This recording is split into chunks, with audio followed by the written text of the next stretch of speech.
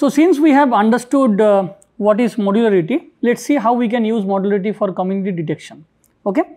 So, so uh, you know uh, it's uh, so there are actually lots of algorithms which used modularity for community de detection, uh, be it disjoint community or overlapping community.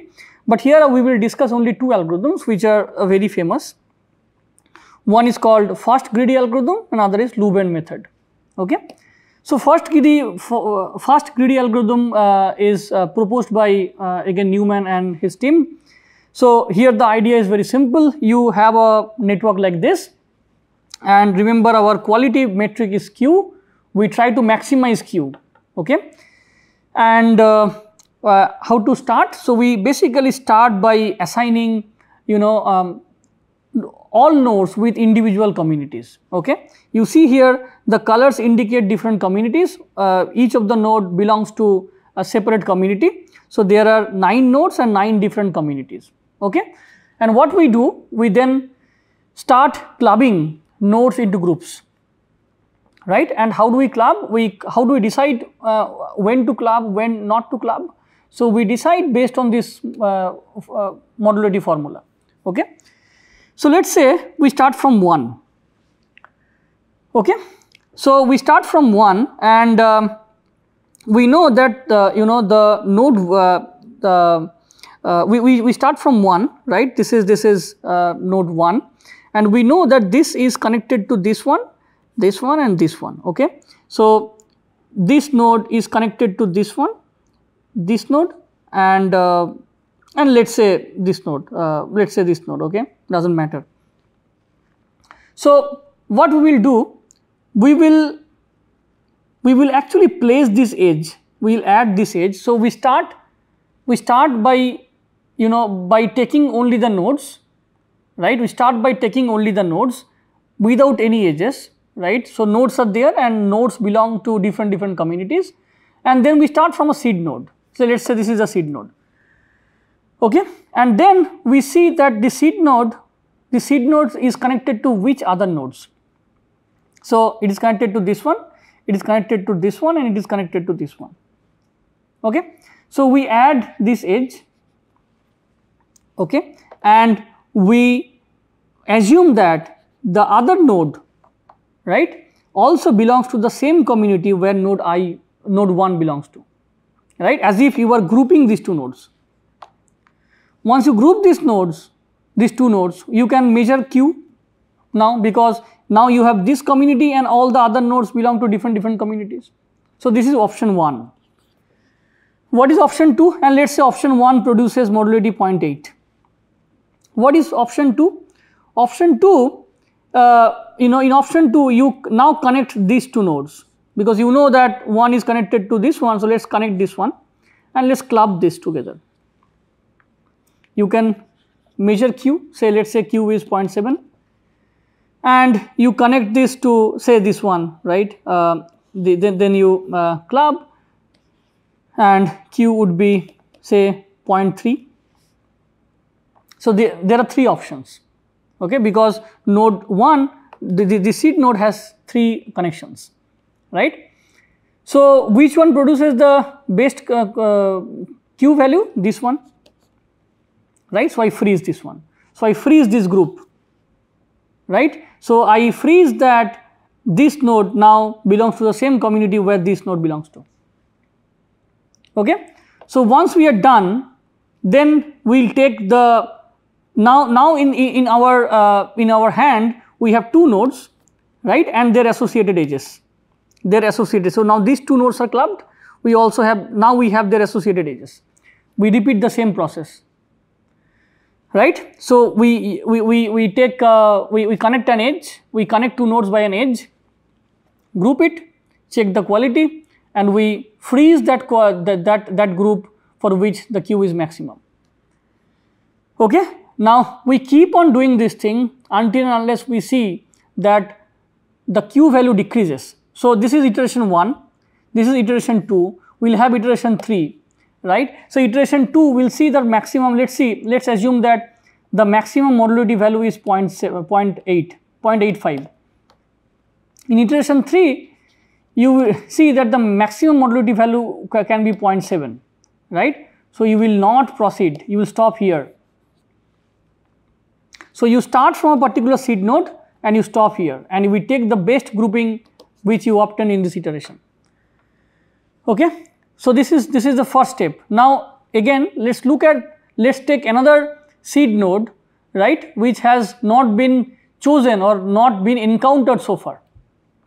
Okay. So, we you now now you choose another seed node and you repeat the process and we basically we keep on repeating the process until unless we see that you know all the all the nodes have been encountered and q value reaches its maximal uh, value right? Now this is greedy algorithm. This is fast greedy right? This is greedy algorithm. So th there is no guarantee that it will actually reach the optimal solution the maximum q value but you know in practice this this works pretty well. Now as you understand fast greedy uh, you know has problems. Like uh, uh, this is kind of very ad hoc way and you also need to decide um, you have different realizations right? You have different iterations. So this this has problems. So in 2008 2009 um, if i remember correctly this method was proposed Louvain method Louvain algorithm which is i think by far one of the best methods uh, for disjoint community detection using modularity maximization. Okay? So in Louvain, Louvain method there are two steps. The first step is called modularity uh, optimization and the second step is called community aggregation. So, at every iteration we will have these two steps modularity maximization, community aggregation, right. So, let us see how, how uh, this uh, method works. So, this is the network. What we do here, we basically you know start off by uh, mm, you know again adding uh, assigning nodes into different communities okay? And then we again start with a particular node. Let us say we start with this node. Okay? So and what what you do the in the same way the way we actually did uh, you know the grouping in case of fast greedy here also we do the same thing. But here we will not remove all the edges and then we start adding. We will not do that. What we will do we will keep the actual graph okay? And let us say this is our seed node okay? And then we we say you know say the, the seed node has this neighbor this this one and we have th three neighbors. So we group the this neighbor we group this neighbor and we group this this neighbors right in the same manner. And then we see that for which grouping the modularity value is maximum. Let's say let's say you know with this grouping with this grouping the modularity value is maximum. We freeze it okay? Then in our plate now we have two nodes and their neighbors. We keep on grouping. We keep on grouping by maximizing modularity right? And let's say let us assume that uh, uh, from this seed node we get a group like this. Okay? Then we again choose another seed node which has not been explored so far and we then we keep on grouping. Choose another seed node and group. Choose another seed node and group. Okay. So then we see that we reach the maximum modularity value. Okay. So this is our uh, uh, grouping after modularity uh, maximization. Okay. So you see that there are four colors indicating four groups. Okay. In the sixth, in, in, in the second, uh, you know, uh, stage, we use something called community aggregation. So what is community aggregation? In community aggregation, we freeze a particular community into a node. We call this node as a super node. So we create a super network. This is a super network, right? A summarized network where each node indicates a community that we obtained earlier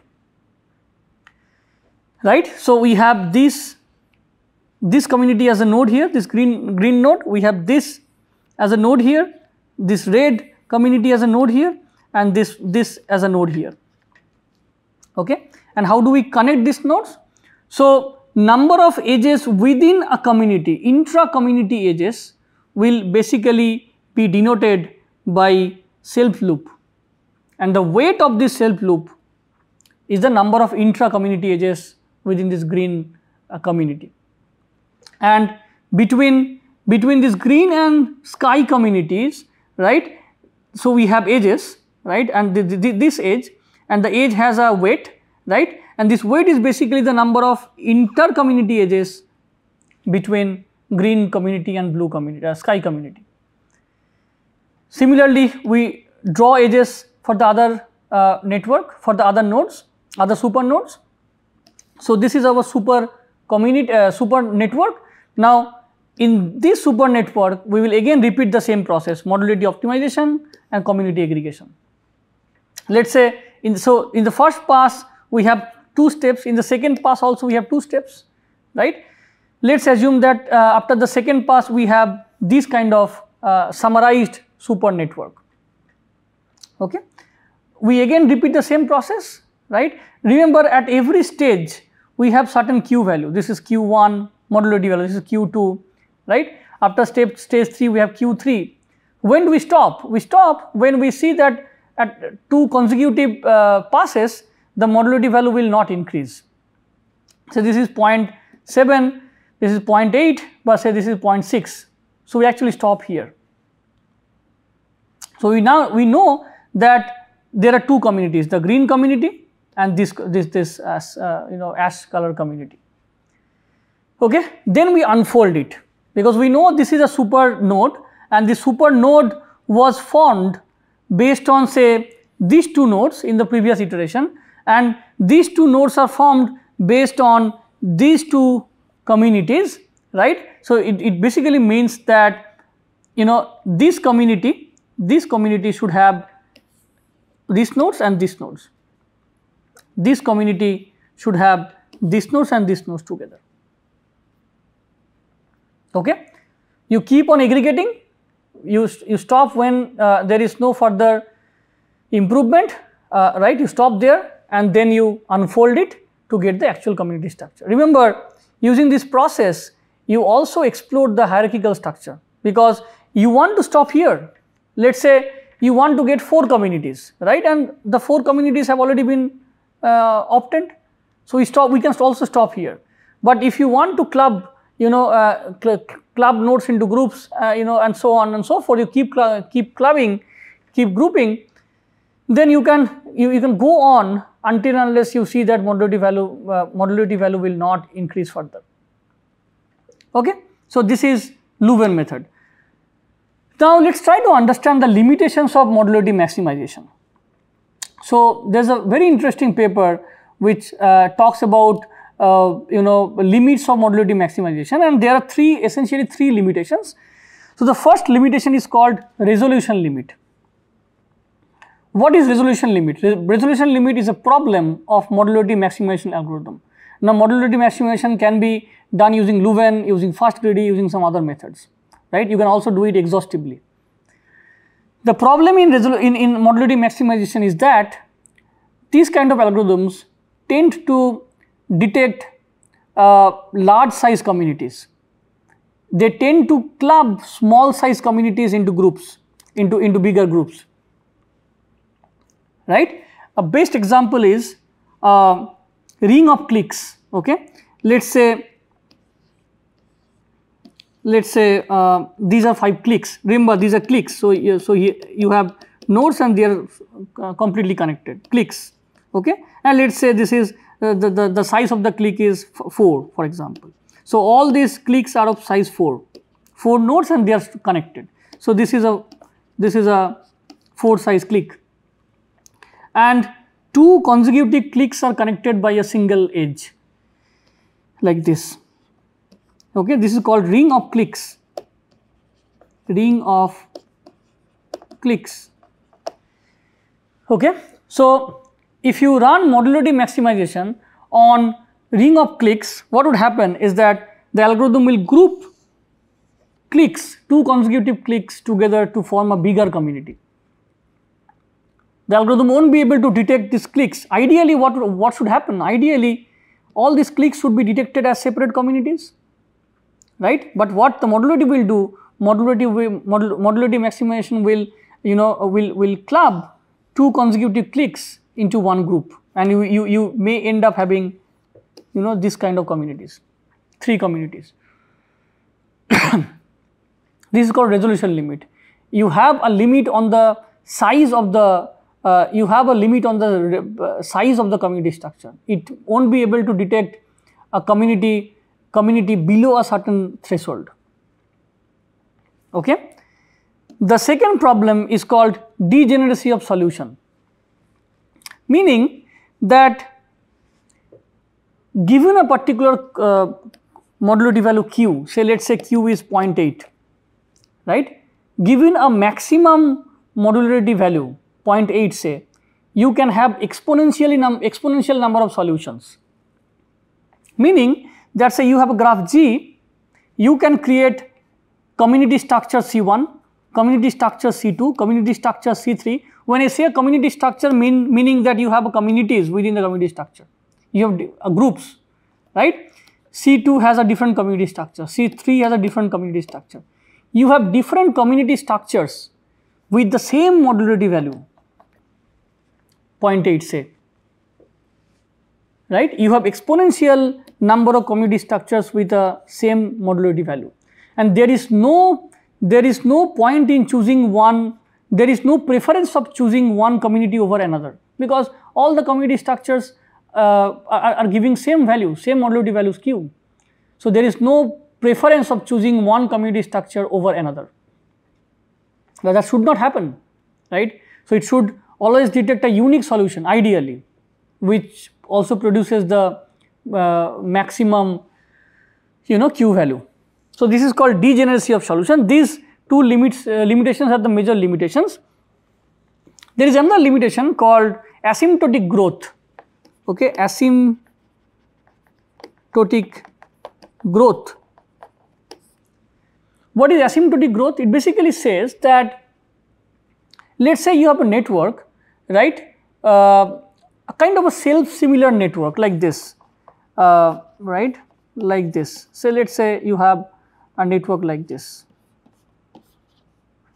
So, let me draw it afresh. So, let us say you have a network like this where the network is growing symmetrically. The network is growing symmetrically like this. Okay. You have same structure, clique and they are further growing this another clique another clique another four clique right? Like this a four clique four clique like this. The, the network is growing symmetrically. Ideally what should happen? Ideally since it is growing symmetrically the q value should not increase. Okay? But what happens is that as you increase the size of the network q value also increases. So you see that if you plot q value this is q value and this is number of nodes, number of nodes, you will see that as the node size at the size of the network increases, the q value starts increasing. It should not happen, right. So, this, this is called um, uh, the, the